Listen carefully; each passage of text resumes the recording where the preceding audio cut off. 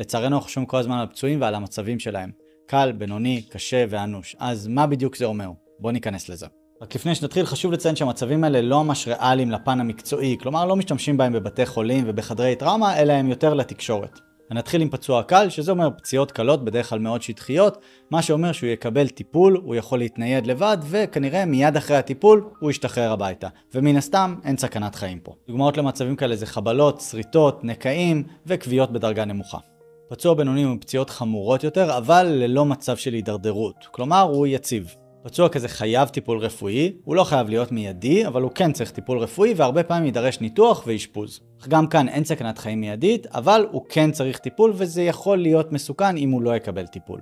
דוגמאות לפציעות כאלה הם שברים, חתכים שצריכים תפירה, וכוויות בדרגה בינונית.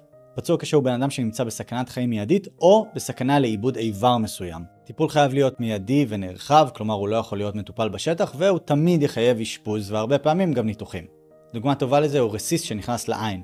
אין סכנת חיים מיידית, אבל יש סיכוי, אם לא יטופל, לאבד את העין, לאבד איבר. עוד דוגמאות לזה זה חתך גדול עם עיבוד דם נרחב, שברים פתוחים ופגיעה באיברים פנימיים. פצועים במצב אנוש, בדומה לפצועים במצב קשה, הם בסכנת חיים מיידית וזקוקים לטיפול רפואי נרחב ומיידי. ההבדל בינם לבין פצועים במצב קשה זה או שהם היו פצועים במצב קשה ועבר זמן והם עברו לאנוש, או שהם פצועים במצב נרחב יותר, גדול יותר וחמור יותר. לצערנו רוב הפצועים שמוגדרים במצב אנוש בדרך כלל לא שורדים. אנחנו רואים פציעות כאלה בפציעות ראש חמורות עם דימום מוחי, בפצועי הדף, כאשר יש דימום פנימי נרחב ופגיעה באיברים פנימיים, בדימום נרחב בכללי ובפגיעות לבביות. שמרו על עצמכם.